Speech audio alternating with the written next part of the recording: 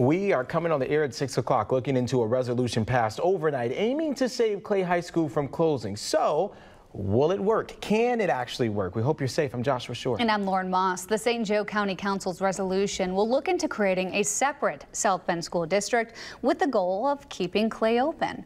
Our Monica Murphy was at that overnight meeting. She joins us live outside the South Bend Community School Corporation with reaction tonight. Monica. You know, there's been a lot of mixed feelings about this resolution. Some say it was poorly written, while others say it will allow for more transparency. The St. Joe County Council passed a resolution Tuesday to help save Clay High School. The resolution states that the Secretary of Education can reorganize and divide the South Bend School District if it will help improve educational outcomes. This is important to me because there's a lot of people in my district that are paying heavy taxes. They voted for a referendum thinking that Clay would stay open if they could just give it some more money. And after they voted for the referendum, Clay closed. And now they feel like they are a community without a school. While the county council doesn't have the authority to decide anything, they will send a recommendation and letter to have a study conducted. Some council members, however, don't support this resolution. This situation is very unfortunate but it's also very intricate and complicated.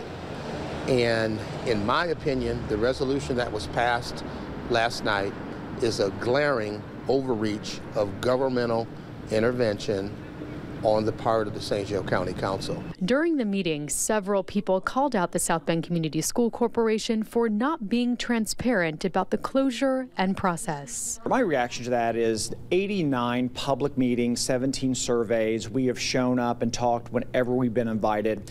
We have been transparent. There have also been concerns about where the referendum dollars are going.